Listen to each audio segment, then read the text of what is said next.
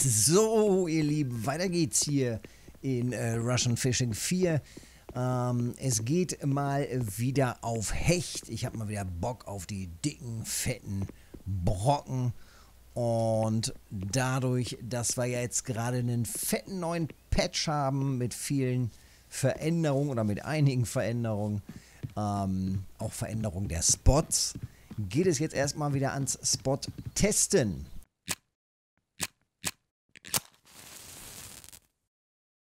Also, legen wir los hier. Erstmal zu einem der klassischen alten Spots hinrennen und dann gucken wir mal, was geht.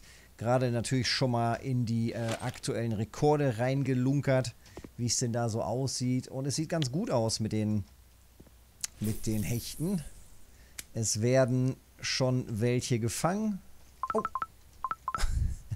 Gerade ausgeworfen sofort bis. Das ist natürlich gut. Das ist immer ein gutes Zeichen, wenn äh, ein Köder sofort zack den ersten Hecht äh, produziert sozusagen, den ersten Hecht anlockt. Dann ist das schon immer eine gute Geschichte. Also, ich befinde mich hier am Ladoga-See und ähm, hier auf 7355 direkt am Leuchtturm ausgerüstet mit der Jerkbait und dann geht es hier so in Richtung ja, da hinten in Richtung der Brücke einfach werfen.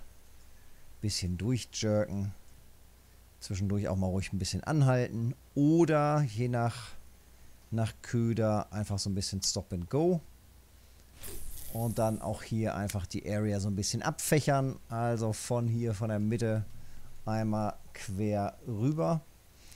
Bis zu der Schilfkante da vorne, da wo das Gras ist. Einfach mal testen, was da geht die verschiedenen Farben, die verschiedenen Köder einfach durchziehen. Und ähm, ja, wenn man dann einmal durch ist, einmal so abgefächert hat, fünf Würfe oder sowas, dann die nächste Farbe testen. Wichtig natürlich, ähm, dass man da die Uhrzeit auch ein bisschen mit im Blick behält. Das heißt, so in der Mittagszeit ist dann immer eher so ein bisschen Flaute. Wenn da ein bisschen weniger geht, dann den Köder oder die Farbe irgendwann später auf jeden Fall nochmal testen. Eher so in Richtung Abendstunden. Ja, was hat sich getan? Es hat sich ein bisschen was getan mit der ähm, Aktivierung der Happy Hour. Für alle, die noch die Happy Hour nutzen oder Premium nutzen, natürlich relevant, dass man jetzt die Happy Hour quasi ähm, ja, nicht automatisch startet mit dem Einloggen, sondern erst mit wirklicher Aktivität dann startet, wenn man quasi ans Fischen geht. Näheres gibt es unter den Patch Notes. Ähm, wie gesagt, ich habe das, ich habe ja kein Premium, habe da jetzt leider keinen direkten Einblick, sehe da auch gar keine Veränderung jetzt äh, diesbezüglich bei mir. Ähm, was man allerdings deutlich sieht als Veränderung, und das ist wirklich mal eine, eine interessante Idee, sagen wir es mal so, ist die Möglichkeit für Posenangler, und da müssen wir mal eben echt reingucken. Nehmen wir mal hier irgendwas Lüdes. So. Für Posenangler, dass man hier jetzt seine so seine Pose nochmal sieht. Also gut. Allerdings natürlich nur zu sehen, wenn man das Gerät in der Hand hat. Ähm ich weiß nicht. Also, ja, gut. Aber wer steht zum Beispiel mit drei Matchrouten? Also ich sag mal, es ist gut, wenn man auf Entfernung sieht, da könnte was dran gehen. Und ähm, bevor man dann da die ganze Zeit im Zoom ist, dass man dann sagt, ja, ja, jetzt geht was dran.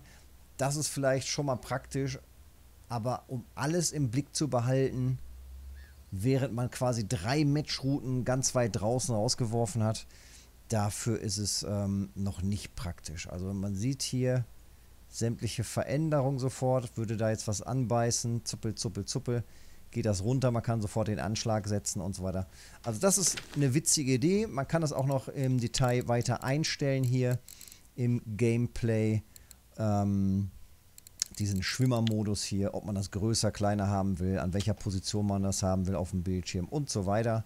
Ähm, witzige Idee, gut umgesetzt. Ja, also mit so einer, mit so einem Zoom da drauf, gute Idee, dass es nicht so, so ein, äh, wie in anderen Game, anderen Games so eine, so eine künstliche Route, äh, Pose dann irgendwie an der Seite so angezeigt wird oder so, oder so. Das ist schon ganz gut gemacht. Aber halt schade, also wenn man die Route ablegt, nichts mehr davon zu sehen. Hm. Ja, aber ich glaube, so ganz schlimm ist es auch nicht. Gibt Schlimmeres. Aber es wird was gemacht und das ist, glaube ich, erstmal das Positive an dem. Es wird was gemacht, es tut sich was, es wird dran gearbeitet an dem Game. Das ist doch wichtig. Ja, ansonsten, wie gesagt, heißt es, neue Spots suchen, beziehungsweise die Fische an anderen Spots aufsuchen. Es wurde quasi alles zurückgesetzt. Und ähm, ja, da heißt es dann tatsächlich, die Fische müssen sich jetzt vielleicht auch erstmal noch ein bisschen finden. Oder ihre Spots wieder so ein bisschen finden. Und da kann es dann natürlich jetzt auch zu wilden Überraschungen kommen. Nehmen wir natürlich gerne mit, die wilden Überraschungen. Ähm, hoffentlich gibt es da irgendwelche. Also für mich, ich hoffe dann immer auf, auf die Fische, die ich äh, noch nicht als Trophy habe. Koorski zum Beispiel oder sowas. Das wäre natürlich was Feines. Atlantischer Lachs, wenn der mal reinrasselt. Gucken wir einfach mal, was geht in den nächsten Tagen. Probieren hier ein bisschen rum und ziehen einfach ein paar dicke Brocken raus. Ja, jetzt gucken wir einfach mal hier mit dem Hecht. Geht da was oder geht da nichts? Zack, da vorne geht auch direkt wieder was. Das ist schön. Bremse kann ich ein bisschen höher ziehen. Ja, rückwärts ein bisschen gezogen, den kleinen. Schauen wir mal, wo sich die Hechte hier aufhalten. Kann natürlich wieder ein bisschen dauern, bis man da jetzt so seinen, seinen Lieblingsspot gefunden hat. Ähm, es gibt gerade zwei Hechtaufträge hier im Café am Ladoga für, was war es, 14 Kilo, 15 Kilo, 14 Kilo und für und für siebeneinhalb, glaube ich. Das wäre also nicht schlecht, wenn ich zumindest die Brocken naja, sagen wir mal, die 7,5er wären schon nicht schlecht. Trophy nehme ich natürlich auch gerne mit. Dicker, fetter Hecht geht immer. Ja, testen wir mal noch ein bisschen rum. Und wenn ich was gefunden habe, schrei ich wieder.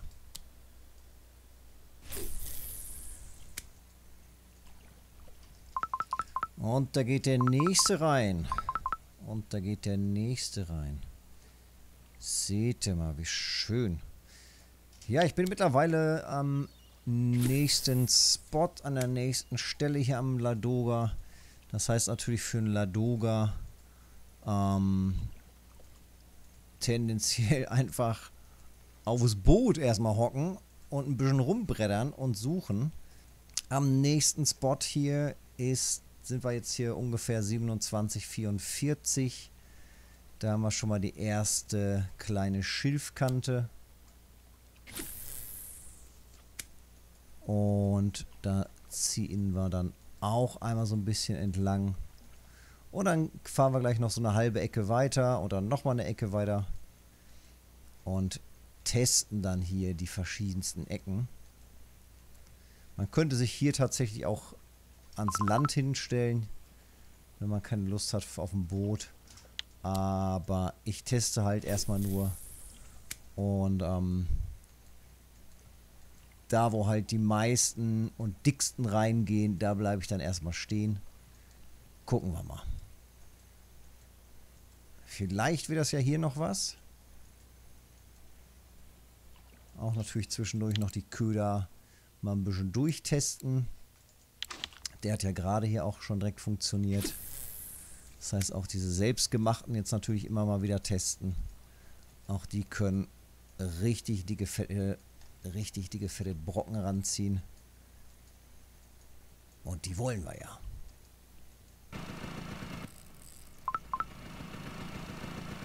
So. Sogar hier beim Schleppen gerade noch was dran gehabt. Sehr gut. Und dann machen wir hier aber jetzt mal aus dem Motor.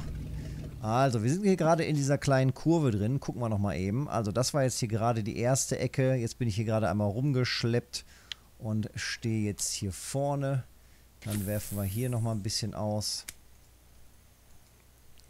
Hier ging ja auch gerade schon was dran. Schauen wir mal, was hier geht. Das ist halt das Schöne hier. Ganz viele Ecken, ganz viele kleine Winkel, wo es ähm, alles komplett zugeschlonzt ist. Hier vorne, da ist ja dann gleich schon die Einfahrt in diesen kleinen Seitenarm.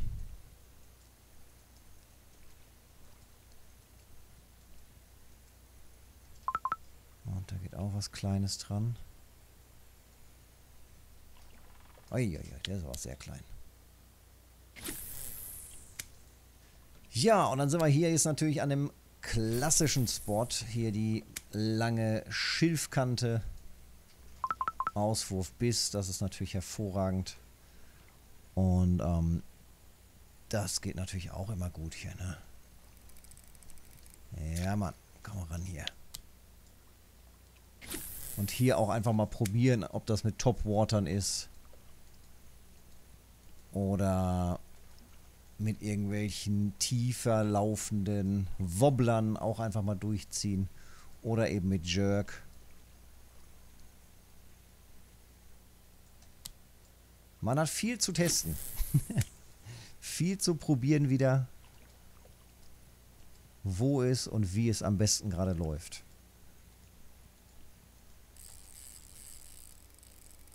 Alter. Hab ich das richtig gesehen?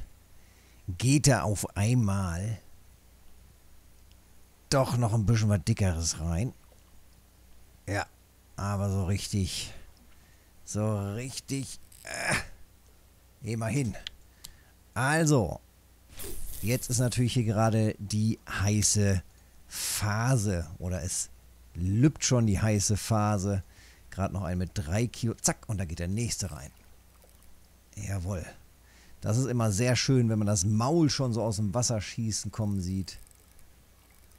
Dann hat man da schon einen ordentlichen Brocken dran. Jawohl. So muss das dann sein. Dann lübt es. Ja, und ich habe gerade wieder äh, viel getestet. Ich habe sogar Blinker getestet, Topwater getestet und, und, und. Äh, Wobbler getestet bin jetzt tatsächlich hier in den Abendstunden wieder zurück auf ähm, den Jerk hier gekommen und bin eigentlich am zufriedensten gerade wieder schön mit der Jerk-Route.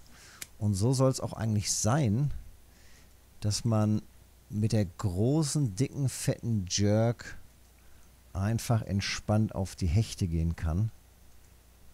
Das war ja zwischenzeitlich nicht immer so, dass das die beste Methode war. Aber es scheint auch wieder zu gehen.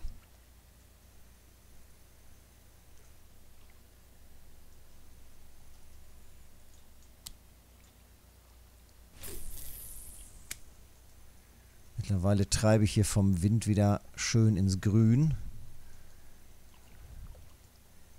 Egal ob Anker liegt oder nicht die Boote, zack, die Boote treiben einfach trotz allem. Und sofort, siehst du, schön, 4,4. Ja, ein 3 Kilo Hechtauftrag ist leider nicht drin im Café. Dafür müssten jetzt nochmal ein paar ganz dicke Brocken anbeißen, dass das noch was bringt. Ich habe hier ähm, zwei Varianten dieses Köders gerade ausgestattet mit zwei unterschiedlichen Haken. Ähm, es sind die drei Nuller riesig. Und einmal mit Puschel und einmal ohne. Im Moment, zack, habe ich gerade den Puschel dran. Da ist also mit Puschel und mit Puschel lübt auch anscheinend gerade. Also ich sehe gerade jetzt keinen Grund, warum ich das ändern sollte.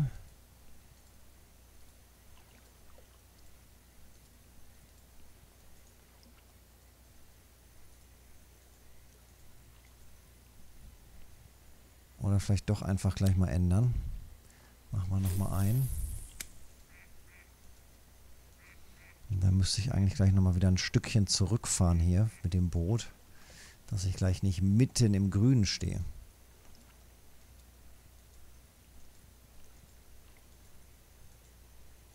...22 Uhr. Es wird auch gleich dunkel. Das sind jetzt so langsam die, die letzten Sonnenstrahlen. Gehen wir nochmal hier auf den Ripper Jerk F12 005. Diesmal jetzt mit, mit ohne. Mit ohne Puschel, aber dafür mit den ganz großen. Das sind jetzt die neuen Haken da drauf, die man auch bis zum 6.0er sich kaufen kann. Wobei das hier trotz allem nur die 3.0er Haken sind. So riesig ist der Köder ja auch wieder nicht hier. So, einen noch und dann ein Stückchen zurücksetzen. Tja, macht das was aus mit dem Puschel? Gute Frage, ne? Angelt ihr mit Puschel auf Hecht? Oder mit ohne? Die große Frage. Bisher muss ich sagen, habe ich immer habe ich immer mit ohne.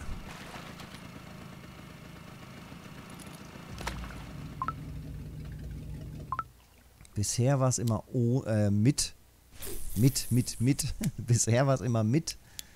Ähm, schön mit Puschel dran, weil ich habe mir gedacht, komm, wenn du, wenn du schon die ganz teuren Haken dann dir gönnst, dann können auch Puschel dran sein. Da war das dann eigentlich auch wurscht. So, machen wir nochmal in die Richtung hier.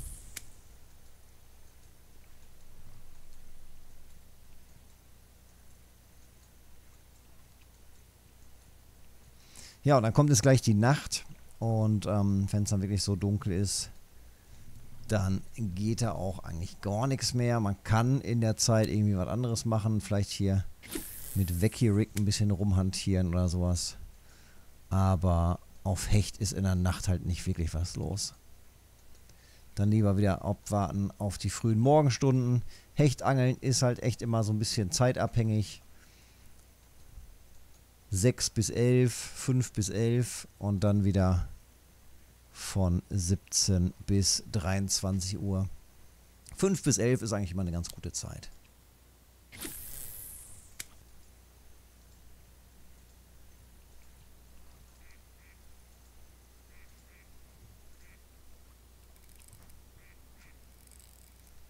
Ach ja, der frühe Wurm, Alter fängt den Hecht. Das ist doch schön. Solche Brocken wollen wir hier haben. Gehen wir mal rein hier. Hart in die Bremse. Ach, ist das schön.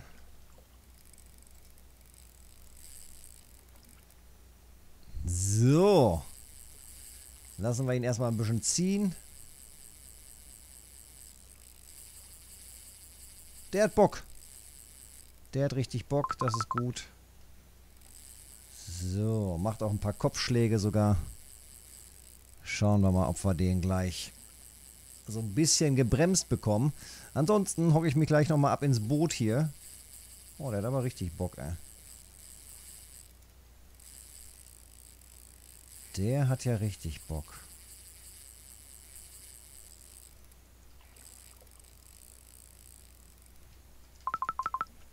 So, jetzt nochmal ranziehen, ranziehen, ranziehen.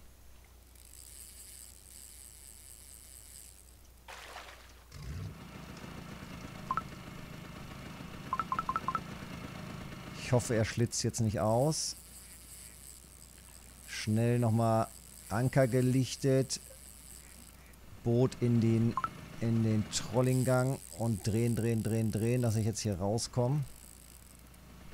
Und dann hinterher gurken. Das ist jetzt wichtig. So. Machen wir mal so ein bisschen leiser hier. So. Komm schon, komm schon, komm schon, komm schon. Der hat richtig Bock. Der hat richtig Bock.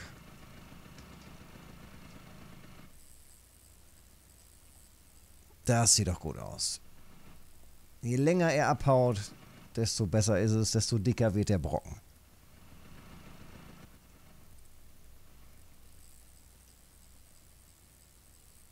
Und er hat noch Bock. So, Bremse langsam mal wieder ein bisschen hoch.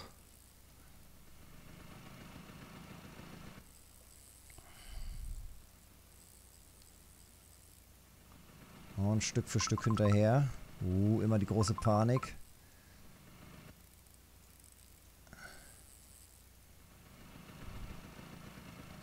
So, jetzt versuchen wir ihn mal so ein bisschen vielleicht hier rüber zu drücken an die Felswand, dass er nicht ins Unermessliche, ins offene Ende abdrückt. Er zieht. ah, komm schon hier. Das ist natürlich super. So, schön locker lassen.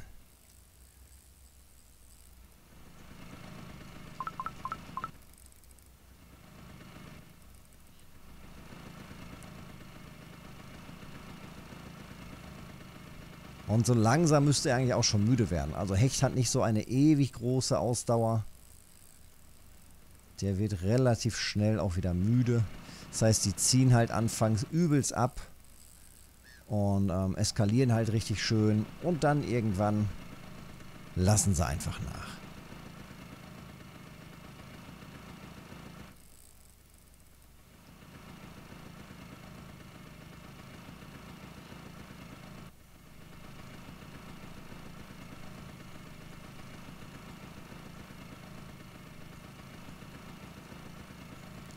So, jetzt muss ich schon Gas geben hier. Kurbel, Kurbel, Kurbel, Kurbel.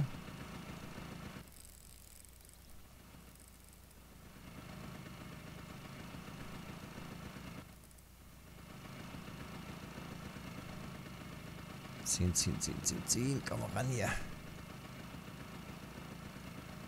Das wurde aber auch eigentlich mal wieder Zeit. Hier so einen schönen dicken Brocken am Ladoga habe ich ja schon lange nicht mehr gehabt. Das war aber auch wirklich eine lange Zeit lang so, dass da die, ähm, die Jerks gar nicht so gut liefen. Dann äh, war vor Monaten ging es da mal wieder los mit dem, mit dem dunkelgrün. Und jetzt aktuell wohl dieser silberne, der ganz gut läuft. So, der Hecht war ganz gnädig, ist hier abgebogen.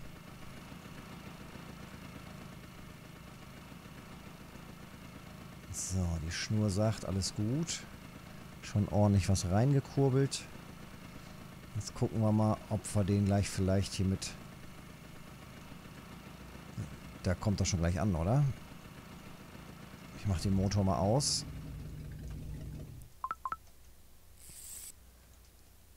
Und dann kommen... Oh, oh, oh, oh, das ist ja wie ein alter Bekannter, Alter.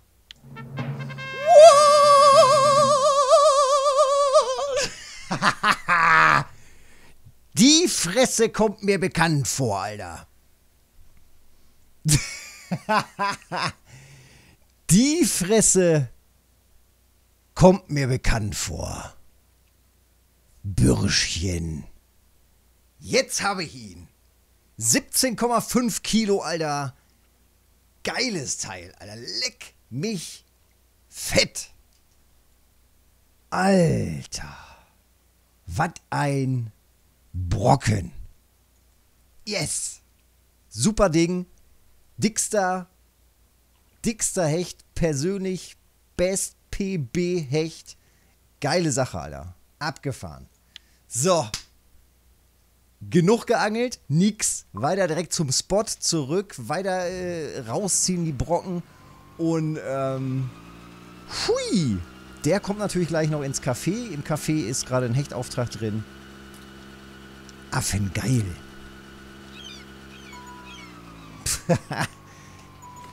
Jetzt muss ich doch noch mal eben schnell schauen, bevor der Auftrag raus ist. Gucken wir mal eben rein. Hier ist er drin. Läuft noch lange. Da ist er. 832 Silber für diesen Hecht. Kratsching. Rausgeballert das Teil. Affen. Geil. Dreimal die sieben halber. Die hole ich jetzt auch noch. Und äh, ja, katsching, katsching, katsching. Ähm, es hat gerade ordentlich gebimmelt hier. Ich muss gleich erstmal ein paar Briefe beant beantworten. Petri, ihr Lieben, zieht raus die Brocken, ab zum Ladoga, Hechte kloppen.